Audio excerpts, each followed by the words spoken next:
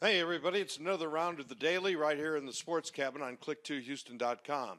I'm assuming, and I know that's never a good thing, that Jeff Bagwell will eventually get into the Hall of Fame. I know there's a perception that he had something to do with the PEDs going around, but he was never convicted in the courts, just uh, certain media circles. Of course, I saw him play more than the average guy and marveled at his power and the way he conducted himself around first base. And I like that he and Craig both played their entire careers here in Houston.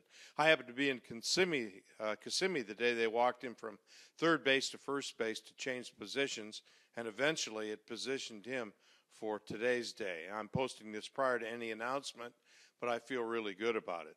And some guy asked me this week about a bit we did years ago on Sports uh, on Sports Sunday. It was called Alvin at Night. Uh, if you're old enough, you may remember this.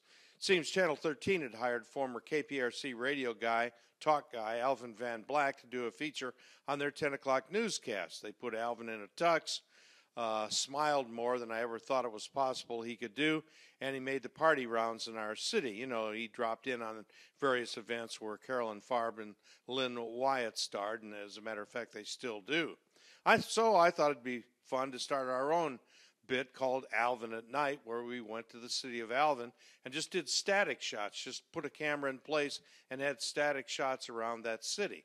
One time we held it for a full minute, just focusing on a gas pump. The bugs really, really liked it. And the fans got it. They thought we were having fun. So I get a call from the, one of the local newspaper guys, and he said, Has Channel 13 complained? And I said, No. But man, I hope they do. We'd really have some fun and I'm pretty sure Jeff Bagwell thought it was funny. This is Craig Roberts on click2houston.com.